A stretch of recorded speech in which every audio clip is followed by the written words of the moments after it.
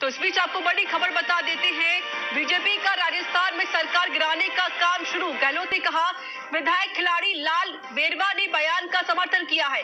मुख्यमंत्री ने जो बात कही, वह बिल्कुल भी सही है। बीजेपी जो खेल खेलना चाहती है, उसमें कभी भी नहीं कामयाब होगी। पायलट गुट भी खिलाड़ी लाल बेरवा के तो बड़ी खबर आपको बता रहे हैं जहाँ पर मुख्यमंत्री अशोक गहलोत ने कहा था कि बीजेपी सरकार गिराने की फिराक में है कोशिश कर रही है।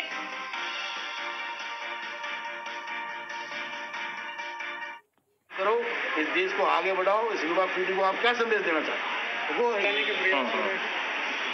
मुख्यमंत्री जी कह रहे हैं तो सही कह रहे हैं। मुख्यमंत्री जी सरकार के हमारे मुखिया हैं।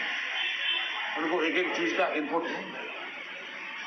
और उनको मालूम रहता है कि कहाँ क्या हो रहा है। आज ऐसी कैसी स्थिति, अगर हम पिछले उस दौर में जाए तो एक दिन ऐसा ही था। हमारे साहब, साथ यही बात हुई और बात होने के साथ साथ कहा, भाई, होटल चलना है। तो हमको भी एकदम वो हुआ, होटल क्यों चलना है। बोल नहीं साहब, स्थिति है। और हमने नतीजे देखे को सेकेंड डे क्या स्थिति अगर मुख्यमंत्री अशोक गहलोत इतने सजग और इतने योग्य व्यक्तित्व नहीं होते तो आज सरकार पता नहीं कभी होती। लेकिन दावा है, उसको आगे रख और हमारे साथ जुड़ चुके इस पर अधिक जानकारी देने के लिए संवाददाता रहमतुल्ला खान रहमतुल्ला, जिस तरीके से देखा जा रहा है कि मुख्यमंत्री अशोक गहलोत ने कहा था कि जो बीजेपी है, वो सरकार गिराने की पूरी कोशिश कर रही है। फ़िलहाल इसको लेकर क्या कुछ अपडेट है? क्योंकि अब जो राजनीति है, वो शुरू हो गई है, राजस्थान में।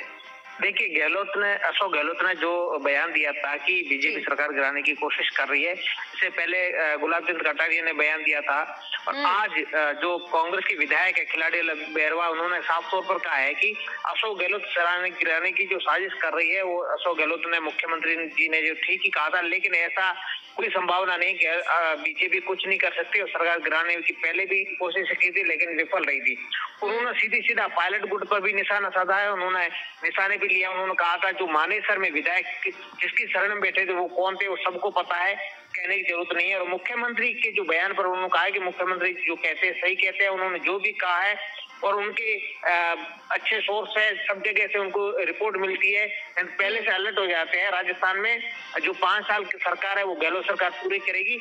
और इसमें कोई किंतु परंतु नहीं है बीजेपी जितनी भी साजिशें करे लेकिन नाकामयाब रहेगी। ये खिलाड़ी लाल बैरवा ने कहा है। बता दें कि खिलाड़ी लाल बैरवा है वो गहलोत गुट के माने जाते हैं। और पायलट गुट पर उन्होंने जो निशाना साधा है। हम्म, लेकिन रहमतुल्ला खान जिस तरीके से कांग्रेस लगातार बीजेपी पर आरोप लगा रही है कि बीजेपी सरकार गिराना चाहती है और उसका ये काम भी है। तो इस पूरे मामले को लेकर कोई प्रतिक्रिया आई है बीजेपी की तरफ़ से? देखिए, बीजेपी ने जो मुख्यमंत्री के बयान पर जो प्रतिक्रिया सतीश पुनिया जो भाजपा के अध्यक्ष है उन्होंने ज़रूर दी थी लेकिन अ, उसके बाद में कोई प्रतिक्रिया नहीं आई लेकिन आज एक जो पीसीसी मुख्यालय पर पहुँचे थे खिलाड़ी लाल बेरा और प्रताप सिंह काजरा जो राजस्थान सरकार में मंत्री है उन्होंने भी बयान दिया था कि राजस्थान में गहलोत सरकार पाँच साल पूरा करेगी किसी भी प्रकार का चाहे बीजेपी कितनी भी साजिशें रचे लेकिन हालाँकि वो कोशिशें करती है लोकतंत्र को बिगाड़ने की कोशिश करती है संविधान जो। है मैं आपको रुकना चाहती जुड़ चुकी है विधायक है अब खिलाड़ी लाल बैरबा सर स्वागत है न्यूज़ इंडिया में आपका। जी नमस्कार। बैरबा जी लगातार आरोप लगाए गए हैं कितनी सही है ये आरोप? जितने भी बीजेपी का जो कर्म है वो सब सामने आ रहे हैं। अशोक जी गहलोत जी ने जो कहा है हम्म। उसमें उनको कुछ इनपुट है हम्म। कुछ सत्ताएँ हैं उन्हीं के आधार पर ये बातें हैं। हम्म। वही बात ये कि पहले भी बीजेपी ऐसा कर चुकी है हम्म। तो अशोक गहलोत जी जिस तरह से अलर्ट हैं हम्म। और बीजेपी के जो मनसूबे हैं उनको पूरा हो, नहीं होने देगी ये निश्चित रूप से बात है। देखिए तो- सुनिए मेरा एक सवाल है खिलाड़ी लाल बैरवा जी से। जी। जी। खिलाड़ी लाल जी, जिस प्रकार से आरोप लगाए जा रहे बीजेपी की तरफ़ से कि ये सरकार खुद अलर्ट नहीं है और कांग्रेस में खुद अंतर अंतरकल है और उधर एक तरफ़ से वही अशोक, मुख्यमंत्री अशोक गहलोत ने भी कहा है। तो ये कहाँ तक सही है और पायलट गुट अभी भी कैसे पायलट गुट है? बात ये है कि ये जो बीजेपी हमारी अंतर कलह की बात कर रही है, बीजेपी अपना खुद का देखे, हमारी अंतर कलह हमारे जो स्थिति है, उससे उसको कोई मतलब नहीं है। अभी जब कल चैनल पे आए थे कटारिया जी, उन्होंने स्पष्ट कहा था कि हमारे पास इकहत्तर आदमी हैं और इकहत्तर आदमी हमारे पास है तो कोई सरकार को गिराने का कोई मतलब नहीं होता है। तो मैं उनसे पूछना चाहता हूँ कि इकहत्तर आदमी तो उस दिन भी थे। जिस दिन ये गिराने की बात आई और चौंतीस दिन तक सरकार को होटलों में रहना पड़ा और किस तरह से लोगों को मानेसर में उन्होंने भ्रमित करके और अपने पास रखा। तो ये सब सब कुछ सब ज़ाहिर है इसमें कोई नई बात क्या होती है? तो गहलोत सरकार है आगे क्या? स्टैंड रह सकता है? गहलोत सरकार अपनी जगह क्लियर है। गहलोत सरकार के साथ जितने भी विधायक हैं वो कम्प्लीटली उनके साथ खड़े हुए हैं। सरकार को कोई खतरा नहीं है। अशोक गहलोत की पाँच साल सरकार चलेगी इसमें कोई दोहरा नहीं। अगर बेरवाजी खतरा नहीं है तो फिर क्यों ऐसे बयान दिए जा रहे हैं? आप तो बयान बयान कहाँ से आ रहे हैं? जो चीज़ें मार्केट में चल रही है जो चीज़ मार्केट में चल रही है अगर मुख्यमंत्री जी को जो राजस्थान के मुख्यमंत्री हैं हम्म। अगर उनको कहीं भान है कोई उनको इनपुट आता है या कोई सुसराट चलता है हम्म। कोई इंटेलिजेंस उनको रिपोर्ट करती है तो क्या वो इस बात को नहीं कहेंगे क्या? हम्म।